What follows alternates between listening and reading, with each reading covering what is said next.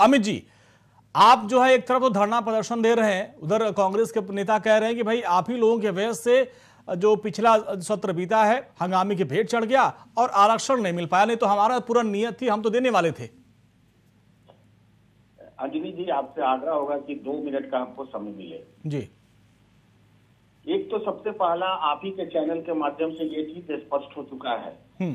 कि झारखंड मुक्ति मोर्चा और कांग्रेस ने अपने घोषणा पत्र में हम्म।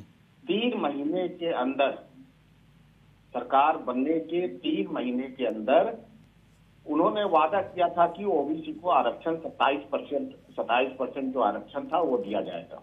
हम्म। आज दो साल हो गए। हम्म। कोई आरक्षण ओबीसी वर्ग को नहीं दिया गया। हम्म। उससे उससे भी दुर्भाग्यपूर्ण बात है कि कांग्रेस सत्ता में रहते हुए कांग्रेस सत्ता में रहते हुए इस आरक्षण को लेकर इनके अध्यक्ष इनके मंत्री मोराबादी मैदान में गांधी जी के प्रतिमा के नीचे बैठकर हम्म।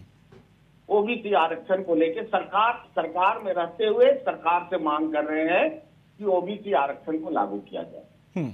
ये दोहरा चरित्र कांग्रेस का हम्म।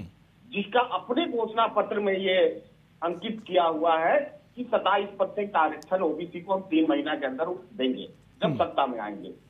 और आज सत्ता में रहते हुए इतने बेशरम हो गए हैं ये कांग्रेस के लोग कि अपने ही सरकार के खिलाफ धरना में बैठते हैं।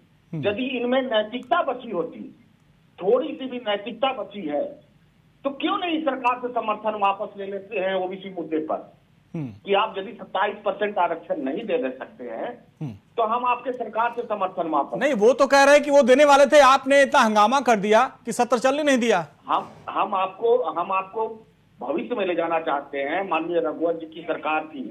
हाँ। माननीय रघुवर जी की सरकार थी और रघुवर जी की सरकार ने पूरे जिला अधिकारी डीसी को आदेश दिया था कि आप ओबीसी जनगणना के माध्यम से ओबीसी ओबीसी कितने हर ज़िले में है उसके बारे में बताने का काम करें।